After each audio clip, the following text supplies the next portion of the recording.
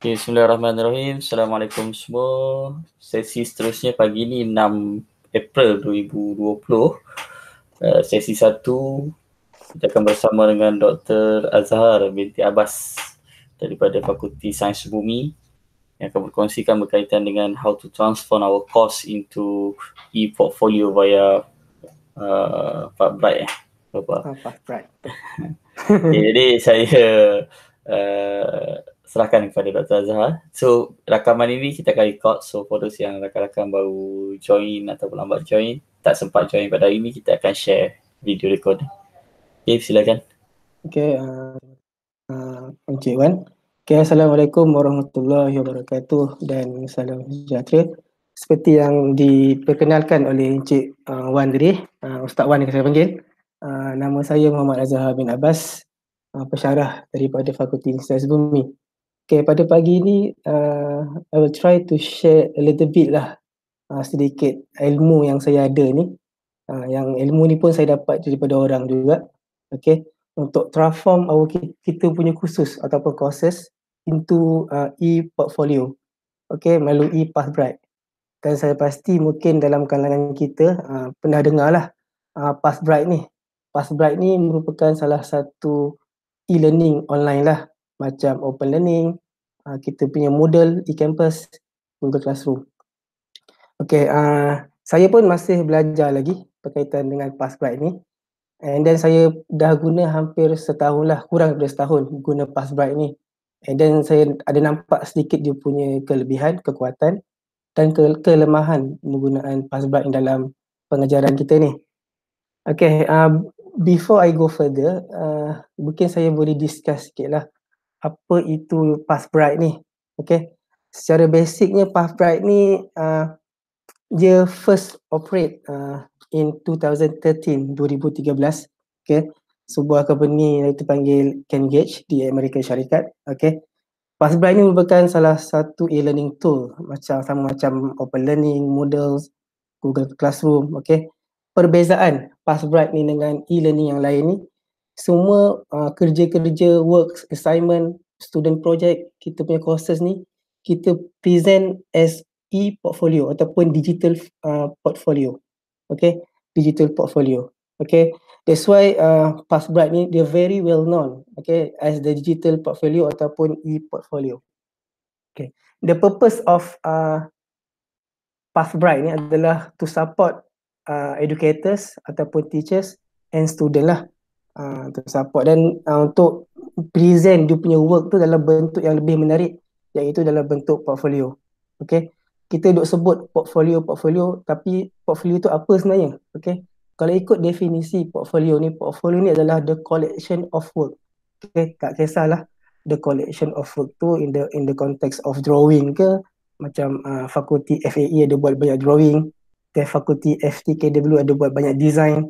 Okay. And then fakulti saya sendiri fakulti sains dulu ada, banyak buat pasal fieldwork, uh, lab, okay, uh, research, even uh, portfolio pun boleh uh, boleh berlaku dalam bentuk research article, okay, kita punya uh, research, kita nak sharing kita punya portfolio dalam bentuk research, and then kita punya activity-activity lah, okay, and then the collection of work ni for the specific audience, okay, untuk specific audience. That means that uh, certain portfolio tu just specific kepada audience audience yang tersendiri lah. Um, contohnya audience student. Okay, kalau audience student, portfolio kita lebih kepada kita punya khusus lah.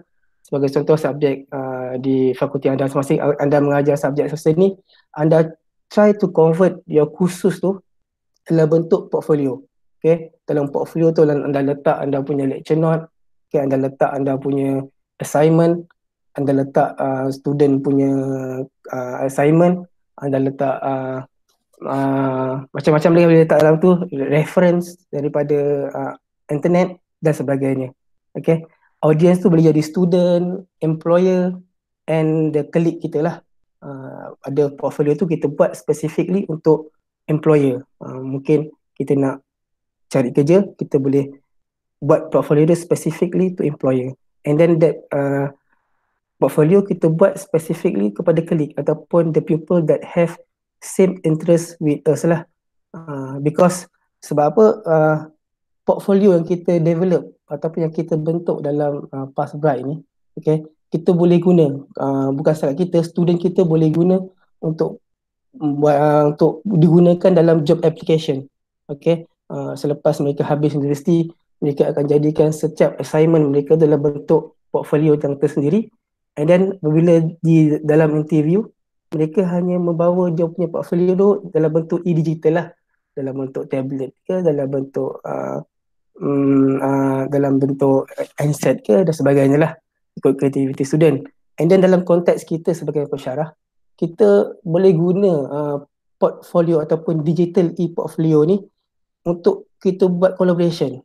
For example portfolio dalam konteks research kita okay, research kita kita punya research article kita buat dalam satu bentuk portfolio. Contohnya pada tahun 2020 ini adalah uh, senarai paper yang kita dah publish and then there is the research yang kita dah buat. Kita masukkan gambar research-research kita yang kita dah buat, research activity dan sebagainya. And then yang menariknya portfolio ni kita boleh buat uh, setting dia public. Okay, and then kita boleh share dia punya link tu dalam kita punya social media lah. Uh, sebagai contoh Facebook, sekarang ada banyak Instagram, uh, Twitter, okay, dan sebagainya lah. Uh, itu adalah kekuatan uh, kekuatan pass bright ni lah. Uh, okay, seterusnya adalah uh, the benefits. Okay, the benefits ni uh, yang pertama sekali orang akan cari uh, tools, e-learning tools yang free lah. For time being, uh, pass bright ni dia free of charge. Kalau kita single user, dia adalah percuma lah. Uh, and then kita boleh masuk portfolio kita unlimited banyak mana portfolio kita nak masuk pun tiada masalah. Okay, kita nak masuk 10, 20, 50 ataupun 100 pun memang tak ada masalah. And then kita, dalam e, uh, dalam e-portfolio kita tu kita boleh upload unlimited document. Banyak dokumen kita boleh upload dalam tu. Tiada masalah juga sebab tiada limitation. And then dalam Passbright ni dia punya benefitnya uh, sebab dalam Passbright ni dia ada komponen courses di mana kita develop uh, macam Google Classroom ataupun itu punya e-campus. Semasa student uh, uh, send dia punya assignment ya, dia boleh sudah boleh buat self reflection dahulu uh, sebelum dia hantar kepada kita lah. Di mana dia uh, assess dia punya kerja dahulu macam mana kerja dia tu. Adakah uh, baik kurang baik uh, sederhana uh, tidak baik atau sangat tidak baik. Uh, dia ada self reflection sebagai kita boleh tengoklah student ni dia uh, menyedari lah menyedari ke, ke tidak uh, assignment ataupun tugasan tu dilakukan dengan baik ataupun sambil lewa. Uh, kita nak reflect balik kepada student itu sendiri uh, bagaimana bentuk assignment yang dihantar kepada kita. Okay. And then uh, dalam um, e-portfolio ni juga student assignment ni dia akan convert automatically kepada uh, e-portfolio student itu sendiri. Di mana uh, e-portfolio student tu dia boleh setting uh, kita boleh tengok public ataupun kita boleh setting private lah. Uh, kalau assignment tu kira macam student punya kerja tu uh, bagus, kita boleh buat public lah. Uh, di mana kita boleh share di mana-mana. Okay, student pun boleh share dia punya uh, portfolio semasa uh, and then yang menariknya yang boleh sharing tu link tu dia boleh masuk dalam resume. Okay, dalam resume student tu masa job application dia boleh masukkan link dia punya portfolio apakah tugasan-tugasan ataupun aktiviti-aktiviti yang dia pernah lakukan semasa belajar lah. Uh, tu the benefit of Pathbright ni. Okay, uh, ini adalah the the three component of Pathbright. Okay, uh, sebenarnya Pathbright ni ada banyak lagi dia punya uh, fungsi. Okay, saya rasa tiga ni adalah fungsi yang sangat uh, berkaitan dengan kita sebagai seorang pendidik lah uh, ataupun seorang pensyarah. Yang pertama adalah uh, e-portfolio yang seperti saya terangkan tadi. Okay, yang gambar yang sebelah e-portfolio tu adalah contoh lah yang saya punya uh, subjek. Okay, subjek uh, sosiologi dan pembangunan lestari. Uh, sosiologi and uh, sustainable development di mana saya try to convert uh, saya punya courses tu uh, daripada bentuk yang biasa dalam e-campus tu yang kita upload setiap minggu saya try to convert dia dalam bentuk yang lebih menarik iaitu dalam bentuk portfolio. Okay. And then dalam Passbright juga dia ada satu fungsi uh, yang lama sebagai e-resume di mana kita boleh develop kita punya resume tetapi uh, resume yang dalam Passbright ni dia tidak sedetail uh, resume yang kita boleh buat lah. Dia just uh, listkan kita punya experience and then what kind of experience that uh, kita ada lah. Uh, dia tak tak begitu detail. Okay. And then kalau kita nak buat pun tak ada masalah. Okay. And then uh, yang ketiga, komponen yang ketiga adalah courses lah. Di mana uh, kita boleh uh, develop bentuk courses macam e-campus tu. Uh, macam Google Class, uh, Google Classroom. Okay. Perbezaan uh, portfolio dengan courses ni.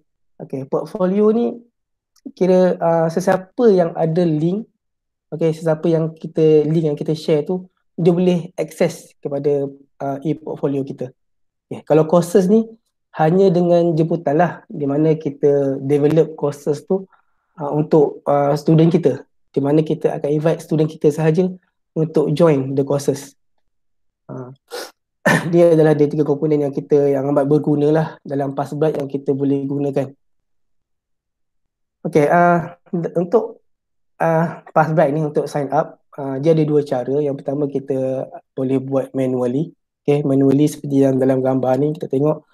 Kita masukkan email, kita masukkan password kita uh, to sign up and then after that dia ada lagi detail yang kita kena isi. Okay, and then I suggest uh, kepada you all yang nak uh, nak develop sign up pass bright ni, kita go for automatic. Okay, yang mana ada Facebook uh, account okay, yang ada Google account kita just click saja and choose which uh, email kita yang kita nak sign up. Kita klik and then automatically kita tak perlu isi uh, detail yang macam manual kita just click and then kita choose which email. Kita klik and then automatically kita dah register. Dan sangat mudah lah. And then dia free of charge. Okay. Untuk e-portfolio uh, okay. Uh, untuk benda yang kita kena tahulah dalam e-portfolio ni. Uh, pertama sekali kita kena tahu, kita akan tengok selepasnya secara praktikal lah macam mana kita nak create e-portfolio. Uh, itulah benda yang asas lah. And then macam mana kita nak masukkan kita punya works. Uh, works ni yang definition works ni adalah seperti yang saya cakap tadi, kita punya drawing, kita punya uh, kerja tugasan kita lah yang kita pernah buat, kita punya research dan sebagainya. And then kita boleh set up ataupun setting kita punya portfolio tu nak tema macam mana, susunan macam mana. Okay. And then uh, perkara yang keempat adalah portfolio insight. Uh, portfolio insight ni dia uh, sebab past bright ni dia lebih kurang macam social media punya uh, uh, social media punya uh, kaedah lah di mana orang boleh engage dengan kita punya portfolio ni. Jadi portfolio insight ni dia akan calculate berapa ramai orang yang engage dengan portfolio kita and then which uh, document yang paling ramai orang tengok lah and then uh, orang boleh komen kan portfolio kita then orang boleh like okay? And then kita boleh share lah uh, kita boleh share. Di mana uh, kita share kat mana-mana pun orang yang tak sign up dengan Passbright pun boleh tengok kita punya portfolio. Uh, uh, kira macam tak ada masalah lah. Dia tidak semestinya orang tu kena sign up untuk Passbright baru boleh tengok portfolio kita.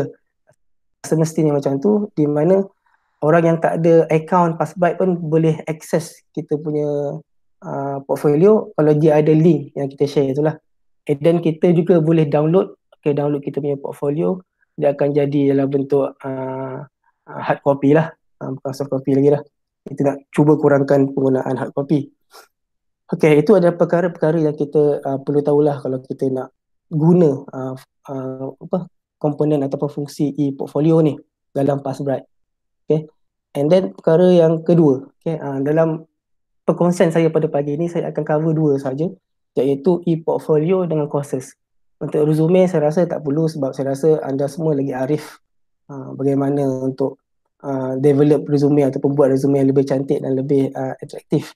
Okay. Untuk saya punya sharing, saya akan sharing about the e-portfolio okay, yang saya gunakan and then the courses okay courses yang yang kita boleh develop antara komponen-komponen kita kena tahu uh, macam mana kita nak develop nak create the courses. Okay kita nanti kita tengok macam mana kita nak uh, create. Saya akan share. Okay and number dua kita macam mana kita nak uh, pastikan student kita masuk join courses. Okay di mana kita develop courses kita akan invite uh, pesyarah-pesyarah lain yang mengajar subjek itu ataupun kursus itu uh, masuk dalam kelas ni.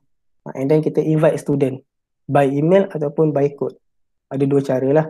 And then uh, yang ketiga kita perlu tahu macam mana kita nak create assignment okay? Sebab uh, the purpose of courses ni yang pertama sekali adalah untuk student hantar assignment sebenarnya. Uh, di mana kita create assignment. Assignment ni adalah satu benda yang sangat powerful dalam Pass Bright di mana dalam assignment ni kita boleh align kita punya assignment tu. Tak kisahlah uh, case study ke uh, uh, assignment yang biasa saja align dengan kita punya learning outcome. Uh, yang untuk case saya saya align dengan PLO lah. Ada 8 PLO yang kita ada yang kita guna sekarang ni. Uh, saya tak guna lagi yang 11 PLO okay and then kita perlu tahu macam mana kita nak grade student punya kerja. Okay yang keempat. And then dia boleh come up dengan report lah. Uh, come, up, come up dengan report. Uh, student kita pencapaian macam mana.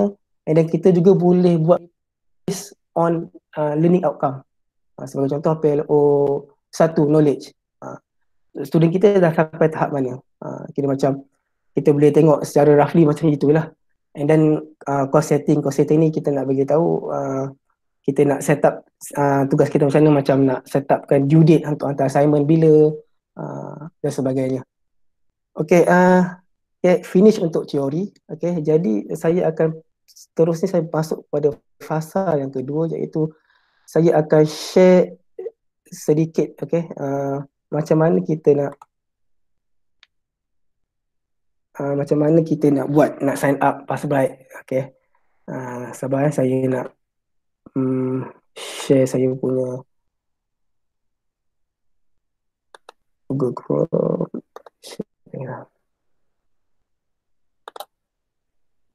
Okay. Uh, okay. Uh, macam mana kita nak cari Pass Bright? Ini benda ni senang je lah. Dekat Google kita boleh cari. Kita just type saja Pass Bright. Tak ada masalah. Uh, and then kita akan jumpa dia punya link lah. Login atau sign up. Okay. Kita akan pergi kepada sign up first.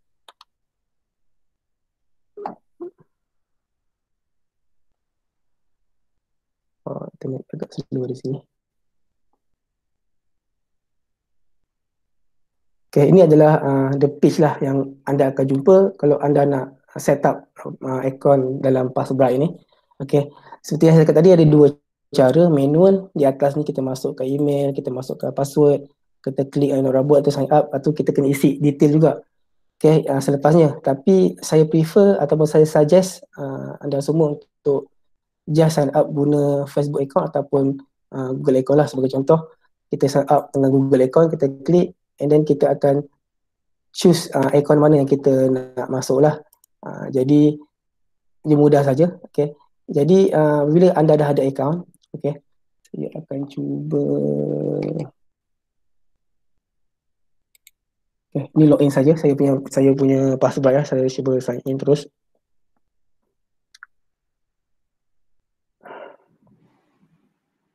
Dr. Azhar. Ah, ya boleh saya tanya soalan uh, sebelum doktor lanjutkan pembentangan? Ah boleh boleh tak ada masalah. Uh, boleh saya dapatkan kepastian which is uh, Passbright ini adalah uh, pengganti ataupun alternatif kepada LMS betul? Yes, alternatif betul. Alternatif. Hmm. Okey, terima kasih. Okey. Uh, saya selupa tanya tanya siapa yang yang tanya soalan tadi. Okey, Syakir di sini. Ha? Syakir daripada FKP. Syakir. Oh Syakir. Okey Syakir. Terima kasih Syakir. Uh, soalan yang bagus betul. Uh, kita dalam e-learning ni kita ada banyak tools. Okay, banyak tools yang kita boleh gunakan untuk online lah. Passbright ni adalah salah satunya. Salah satu tool yang kita boleh guna lah. Dia setiap tools, online tools ataupun e-learning tools ni dia ada kekuatan masing-masing lah. Uh, dia towards the end dia terpulang dekat kita. Kita nak pilih ataupun kita nak guna yang mana satu ikut kesesuaian kita lah. Okay, uh, jadi uh, saya teruskan. Okay, uh, ini adalah page yang utama lah uh, dalam Passbright ni. Okay, yang pertama sekali uh, kita ada portfolio di sini. Resume ni adalah resume yang saya cakap tadi. Kita boleh develop kita punya resume di sini. Okay, and the guided ni adalah uh, courses. Okay, courses yang kita boleh develop uh, khusus ataupun uh, subjek kita dekat sini. Okay, And then discovery ni adalah kalau kita nak search uh, kawan kita punya password ataupun kita nak search uh, account password yang kita interest lah uh, dekat mana-mana kira macam semua akaun Passbright yang ada dalam ni lah. And then untuk portfolio, okay, uh, kita boleh set up kita punya uh, detail, personal detail dekat sini, nama, kita punya link add in, kita punya Facebook, kita punya email dan sebagainya. Okay, and then kita masuk kita punya profile picture. Okay, mudah sikit bagi orang kenal.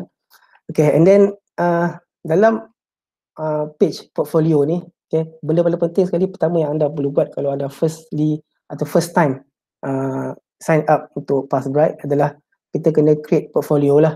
Uh, portfolio. Untuk saya di sini, saya ada tiga portfolio.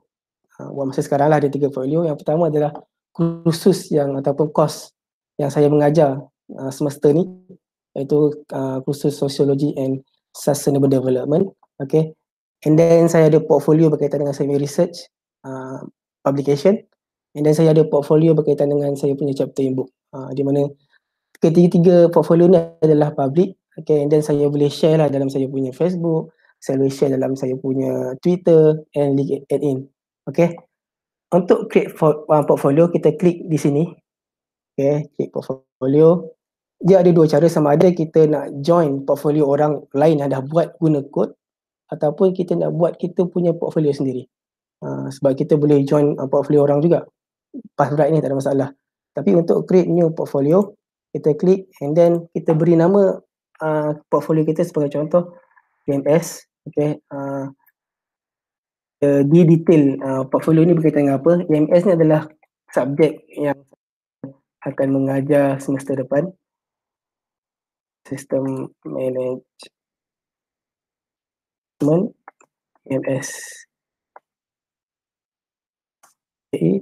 satu tiga. Okay. Ini saya letak titik-titik dulu uh, sebab dia description ataupun penerangan berkaitan dengan uh, portfolio ini. Portfolio ini berkaitan dengan apa? Kalau portfolio ini berkaitan dengan kursus kita, kita just letak uh, description of the courses yang ada dalam FK1 kita, dalam performa kita. And then kita klik next. And then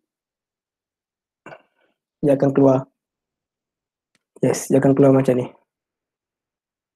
Uh, okay, uh, dalam ni dia ada dua uh, page yang kita dua benda yang kita kena tahulah. Yang first kali adalah untuk add work. Macam mana kita nak masukkan kita punya ketugasan ataupun kita punya kerja lah.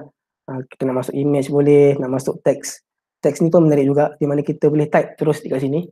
Buat contoh kat sini add text. Uh, kita masuk kat sini. Okay. Kalau kita nak buat tulisan kita ataupun apa yang berada dalam otak kita kita nak masuk dalam ni. Kita masuk kat sini kita testing atau kita try save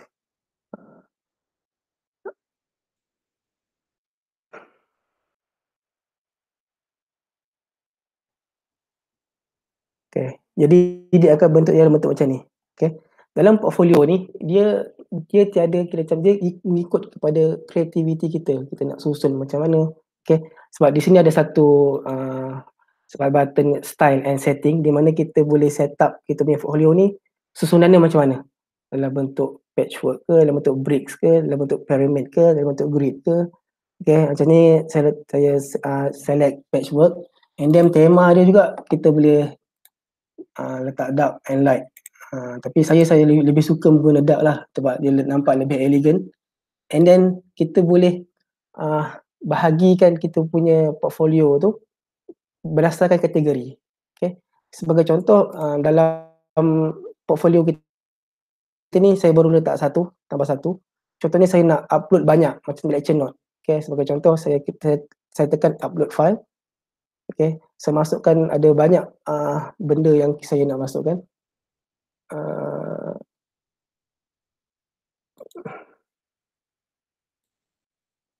sebagai contoh Okay, saya masukkan slide slide saya. Ada empat item. Dia ambil masa sikit lah uh, slide ni. Tak ada masalah. Uh, cuma dia ambil masa sikit. Hmm.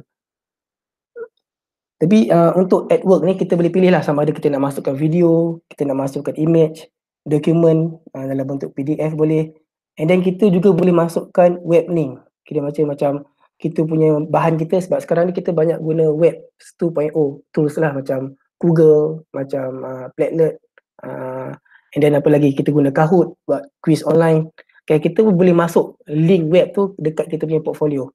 Uh, di mana uh, portfolio kita ni dia macam boleh dikatakan macam rojak lah uh, kalau kita tak susun lagi.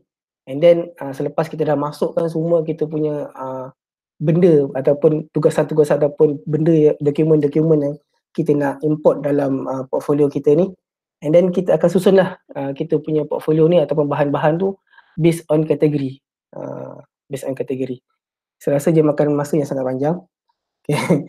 jadi uh, saya rasa saya patut tunjukkan yang portfolio yang saya dah buat uh, lebih mudah lah kot untuk saya terangkan hmm. yes nanti anda semua boleh cubalah kalau berminat uh, untuk ambil. Ini adalah portfolio saya, uh, subjek saya. Sociology and Sustainable Development. Seperti yang saya cakap tadi, dekat sinilah tempat di mana saya boleh masukkan bahan-bahan. Kalau kat sini, secara keseluruhan, ke semua bahan yang saya ada masuk dalam ni. Okay, student punya kerja, lecture note uh, dan sebagainya lah. Semua dalam ni. Okay. And then uh, untuk kategori, uh, kategori ni yang menarik ni sejauh mana kita boleh susun kita punya bahan yang dalam portfolio ni. Kalau lecture note, lecture note lah. Uh, subject briefing, subject briefing, case study. Macam mana kita nak edit, kategori ni, kita tekan dekat edit kategori. Okay, yang ni kategori yang saya dah develop untuk subjek saya lah. Uh, untuk lecture note, saya letak semua bahan lecture note dalam kategori lecture note. And then subject briefing ataupun references, semua benda yang berkaitan dengan rujukan saya letak dalam subject briefing. Case study ni adalah uh, student activity lah di mana student kena buat fieldwork. Uh, semua berkaitan dengan uh, case study ni apa yang diorang buat saya masukkan dalam kategori ni.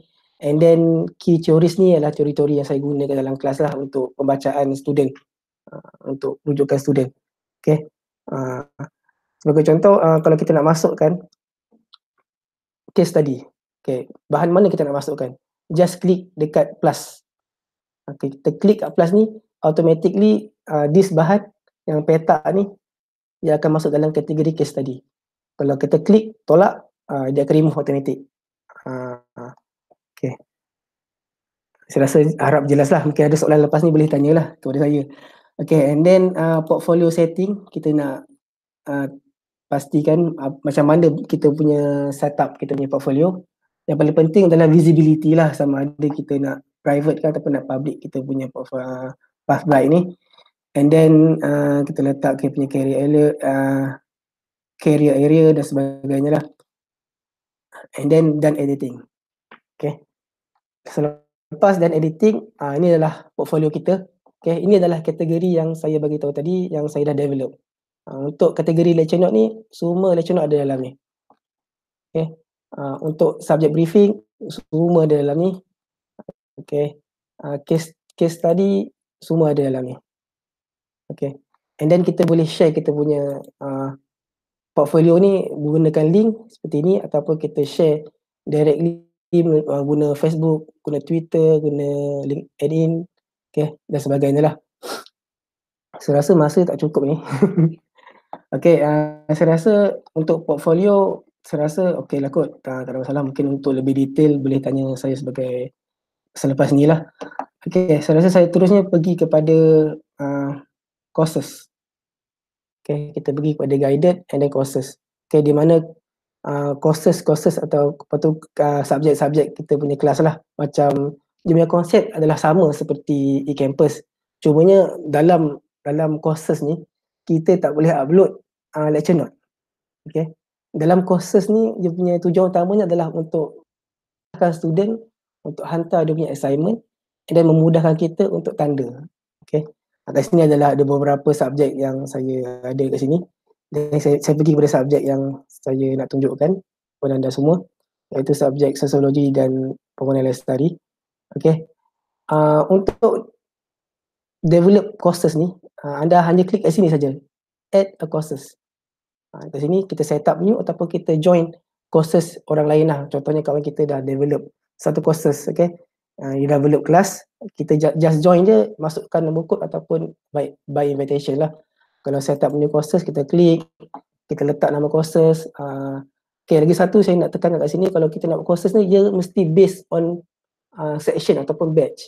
Sebagai contoh subjek saja uh, EMS tadi, okay. Uh, section contohnya September 2020 2021. Uh, jadi dia tak tertukar lah kalau kita in the future kita nak rujuk balik uh, untuk uh, kelas ni punya uh, assignment kita boleh letak situ. Ini course description, okay, tak ada masalah sangat. And then school kita boleh letak kat sini dia ada ada lima saja. Kita klik dekat new community di mana kita boleh search University Malaysia Kelantan. Di sini ada University Malaysia Kelantan, kita klik and then kita save. Uh, yang ni uh, kelas bermula time bila kita nak buat just klik je lalu tak masalah.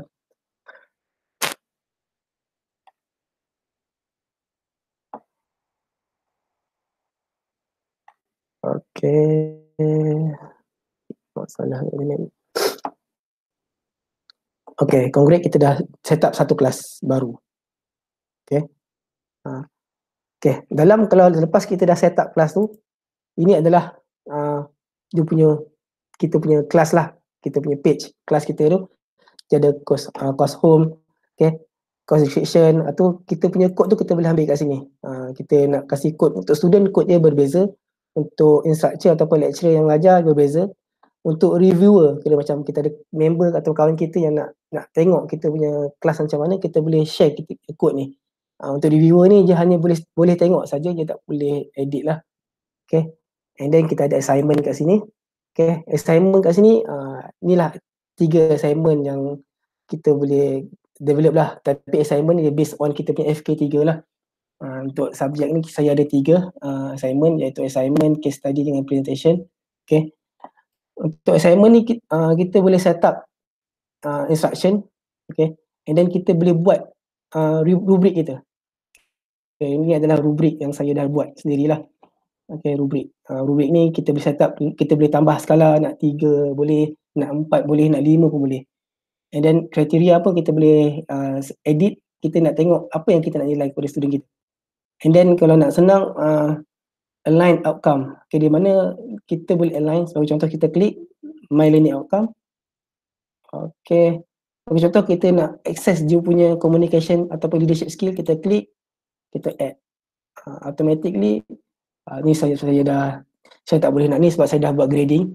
Uh, cancel lah. Tapi kita boleh buat macam ni dia akan keluar satu lagi kolom ataupun satu lagi kat sini. Satu lagi uh, row dekat sini yang berkaitan dengan uh, communication skill lah uh, untuk kita tengok.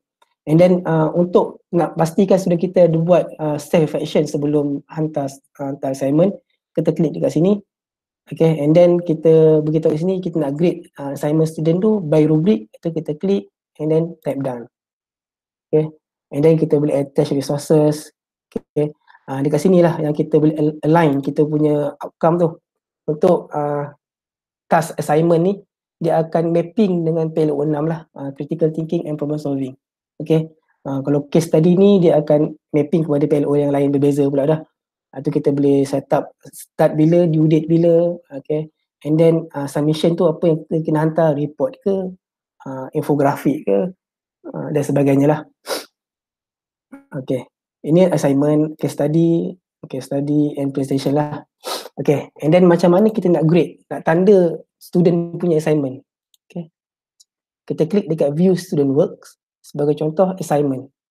Okay, assignment, kita klik dekat satu student, uh, sebagai ambil contoh Ahmad Karim ni, kita klik Ahmad Karim ni, kita akan boleh tengok assignment yang dia dah hantar. Uh, kita view now, dan kita akan tengok apa yang student ni dah hantar. Uh, dia mungkin ambil masa sikit lah. Okay. Tapi apa yang menarik perhatian saya yang berkaitan dengan uh, assignment yang sudah hantar online ni, kita boleh buat uh, annotation di mana kita boleh uh, komen dekat sini. Sebagai contoh teks kan. Uh, kat sini teks, kita tulis ke sini what is this kalau kita tak jelas. Uh, and then kita enter. Okay. Uh, kita perlu save. Kita klik save annotation ni and then kita tulis komen satu. Automatically komen ni dia akan masuk dekat email student. Uh, itu yang menariknya dekat uh, kita punya dekat guna Passbright ni. And then uh, untuk tanda. Okay, untuk tanda assignment student ni, kita klik dekat grade assignment. Grade assignment.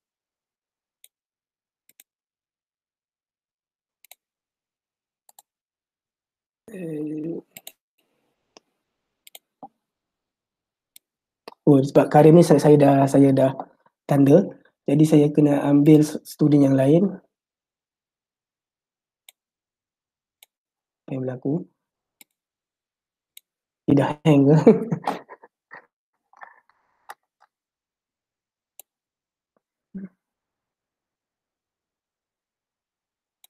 ya saya try keluar balik. Oh, saya rasa ada masalah internet ni. Saya rasa hang.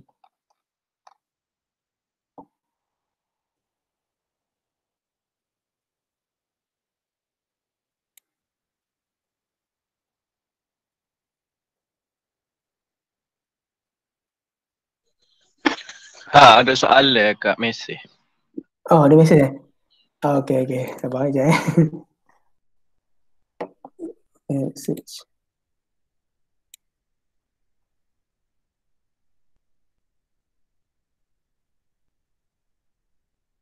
Oh, Valen eh. Valen tanya, uh, Bro Azhar, how student access to our portfolio? Ada required developed by themselves? Uh, sebenarnya kita, kalau nak student kita uh, access kita punya portfolio, kita just share link uh, kita punya portfolio. Okay. Kalau untuk courses, kita share dia punya code. Okay.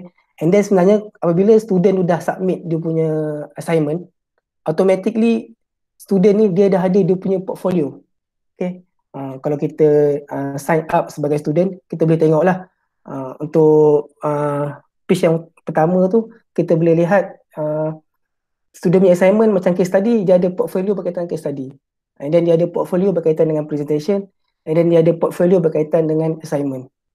Uh, macam tu. Uh, saya harap menjawablah apa yang Mr. Valen yang tanya ni. okay, uh, and then student kalau untuk masuk uh, ke dalam courses uh, courses courses uh, yang kita develop ni, dia perlu register dalam uh, account Passbright dahulu baru dia boleh join. Untuk, re- untuk view kita punya portfolio tak ada masalah. Kita tak, tak perlu sign up. Tetapi untuk join kita punya kelas uh, dia perlu uh, ni lah dia perlu register account one account dalam Passbright okay? Okay kita sambung balik tadi assignment. Kita dah tengok cara nak grade. Uh, okay jap student work sorry student work okay uh, kita pergi ke study kita ambil uh, mana yang belum di grade lagi Okay, Dayang. Dayang ini ni belum di di grade lagi. Okay. Uh, kita view. Okay. Kita klik dekat grade assignment kat sini. Okay, ni adalah rubrik yang kita dah develop tadi. Okay. Sebagai contoh, dia punya content 4. Uh, dia punya conclusion 5. Introduction 5. Okay. And then kita grade. Automatically. Ha, dia akan dapat 14. Ha, dekat situ. Okay. Yang yang yang annotation tadi tu, uh, once kita dah buat annotation, maksudnya kat situ uh, student dia perlu baca ataupun perlu respon kepada annotation tu. Kalau tak kita tak boleh nak grade lah. Uh, kira macam dia kena respon lepas kedua-dua pihak puas hati, okay, baru kita boleh grade itu uh, student punya uh, assignment tugasan. Okay. Uh, assignment ni berkaitan dengan assignment and then dekat sini juga kita boleh tengok assignment yang baru setakat ni tak ada yang baru hantar yang tak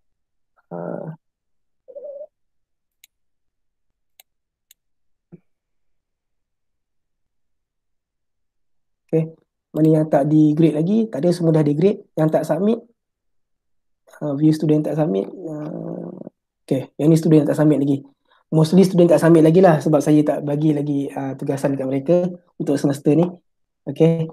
Uh, untuk kat tepi ni kita boleh lihat pupil, uh, kira macam siapa uh, student ataupun pensyarah yang dah join kelas kita. Okay, saya rasa ada masalah internet lah, uh, slow.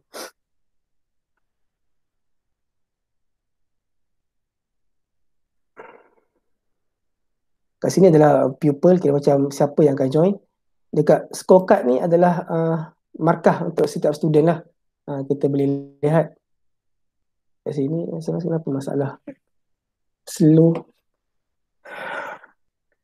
dia scorecard ni dia macam dalam bentuk Excel di mana setiap student tu markah untuk setiap uh, assignment tugasan yang kita berilah untuk uh, showcase ni adalah uh, macam ter dapat detect satu assignment atau satu tugasan student ni yang bagus lah yang terbaik.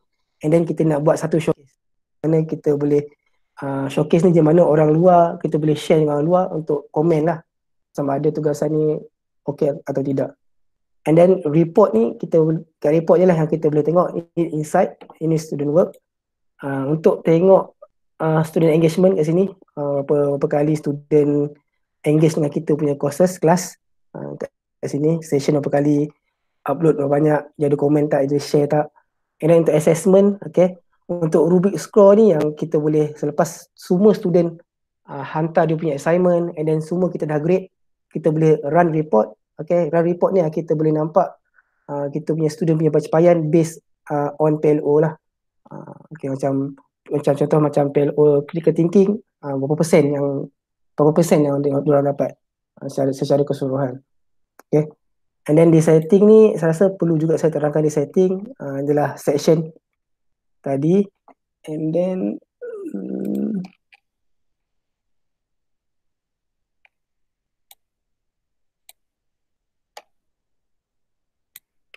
saya rasa itu sahaja. Okay, saya rasa itu sahaja kot uh, daripada saya berkaitan dengan pass bright ni. Uh,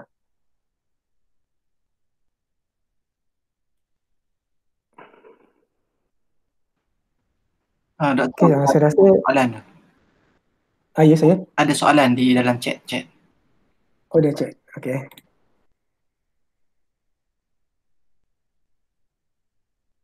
How we can detect the student is already assessed or not? Okay. Uh, dekat kita punya assignment, contohnya assignment ni, kita klik dekat assignment. Uh, student view student work. Okay. And then, uh, okay. Dekat sini dia ada satu button ungrade di mana dekat sini adalah uh, student dah hantar dia punya assignment tapi kita tak grade lagi. Dia akan buat list kat sini. Uh, jadi mudah untuk kita untuk detect siapa student yang kita belum tanda lagi lah. Uh, kalau yang baru hantar, kita klik kat sini. Dia akan tulis, uh, ni adalah list student yang baru hantar assignment dalam uh, hari ni ataupun semalam ke. And then yang di sini adalah di not submit adalah student, senarai student yang belum hantar, belum hantar assignment ataupun kita beri tugasan yang kita berilah. Uh, saya harap menjawablah yang apa yang ditanya oleh Dr. Fatihah ni.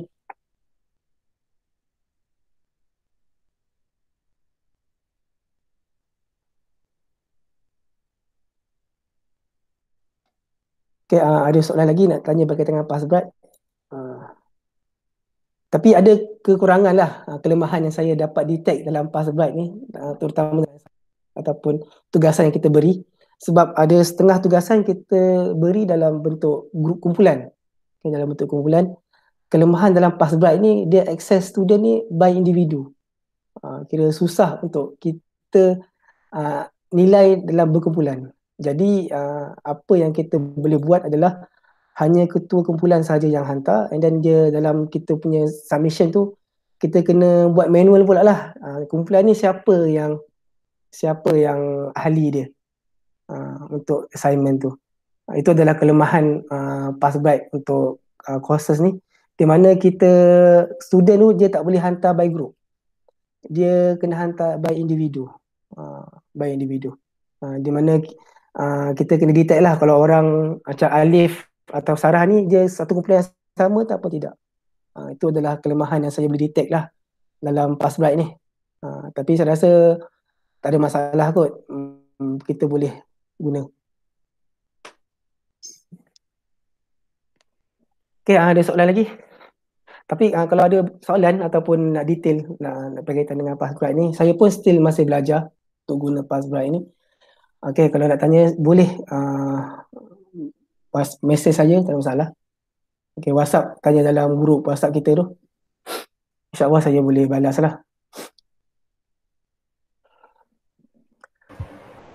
Okay, ada soalan daripada rakan-rakan teman daripada yang lain.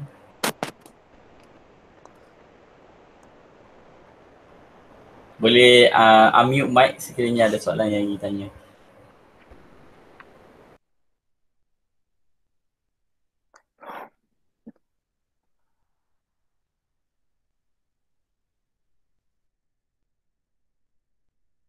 Okey Dr. Azhar, terima kasih banyak-banyak atas perkongsian yang sangat baik hari ini. Memang satu benda yang baru kita belajar iaitu penggunaan uh, web tools Bright yang saya pun tak pernah dengar ni first time jumpa.